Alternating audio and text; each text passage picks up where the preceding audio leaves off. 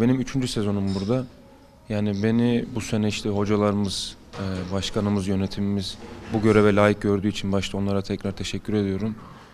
E, Onun haricinde ben şehri seviyorum yani. Ben burada huzurluyum, mutluyum. Taraftarın çok ilgisi var yani. En önemsiz maçta bile yani bir iddiamız kalmaya maçta bile kaç bin taraftar geliyor maça bizi destekliyor. Bizi havaya sokuyor. Özellikle bu sene mesela bir Konya maçı olsun. Yani gerçekten futbol şehri diyebiliriz buraya. Ama sadece taraftar açısından yani. Benim bu şehirde yani bu kadar herkesle sohbet ederken yani vakit geçirirken milliyetçi bir ruhu var bu şehrin gerçekten yani.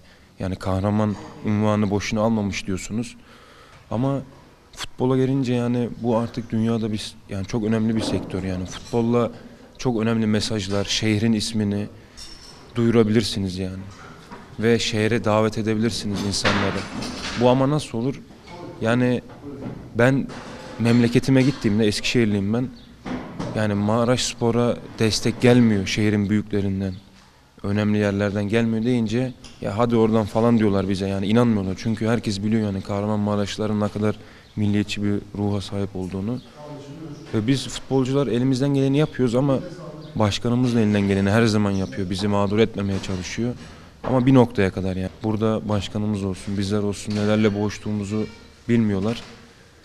Yani bunun cevabını ben 3 senedir alamadım yani. Niye bu sektör yani futbola bu şehirde hiç destek verilmediğini ben cevabını alamıyorum yani. Maddi, hem maddi hem manevi buraya gelip bizim yanımızda bulunmaları bile antrenmanlara gelip maçlara gelip soyunma odalara girmeleri bile bizi bir havaya sokuyor yani. Biz diyoruz yani biz sahipsiz değiliz.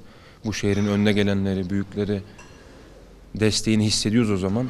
Yani sırf maddiyattan bahsetmiyorum ben yani. Manevi anlamda bile bu bize bir hava katıyor. Ve biz futbolcular için çok önemli yani.